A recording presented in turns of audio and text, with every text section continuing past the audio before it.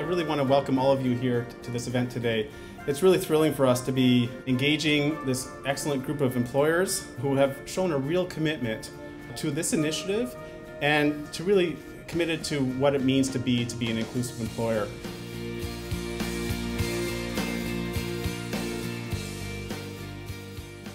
For those of you who were with us at our launch event, what we have for you is a signed and framed copy of the guiding principles that you signed. For the rest of you who weren't here at opening and didn't get a chance to sign the guiding principles, I did bring the original and it's also available at the back of the room and we would love for your signature to be added to that.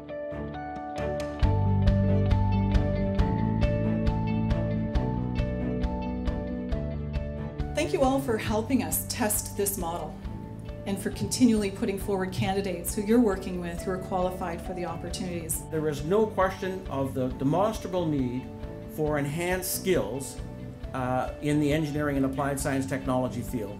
So the labor market demand exists. And on the flip side, we know that people with disabilities can bring their considerable uh, talent uh, and where that talent may not quite match up with employers, we can assist in the training.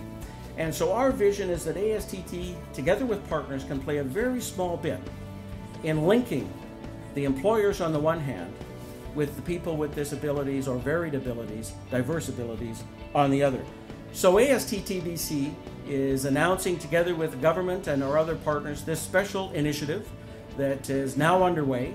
So I have no doubt that ASTT is going to make technology sizzle in the lives with people with diverse abilities. And we appreciate your attendance here today. Thanks.